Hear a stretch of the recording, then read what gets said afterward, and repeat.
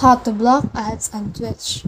Hi guys, so in this video I'll teach you how to block ads on Twitch. So if you want to learn how it's done, just watch this video until the very end. Just pretty quick and simple, so let's go.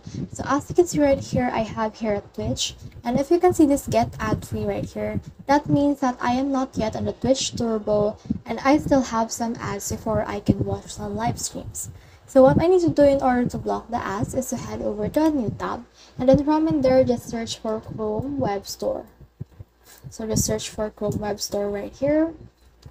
And then as you can see right here, let's just head over to the Chrome Web Store extension list. So here it is right here. Now what we need to do next is search the store. You can just search in here for Twitch, Adblock, and then it will show you some results related to the specific search right here.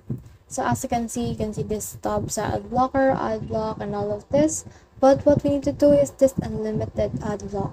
Just click on this and make sure to click on this add to Chrome. Click on add extension and then it will be installed on your Chrome. Now once it's done installing, what we need to do next is to just head over to Twitch, refresh your Twitch TV right here.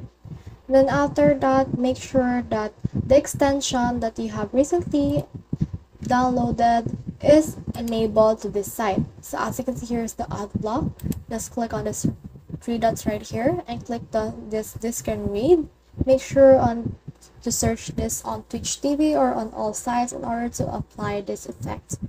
So that's the whole process. I hope this video helped you to block ads on Twitch. If you have questions or comments, kindly put in the comment section below.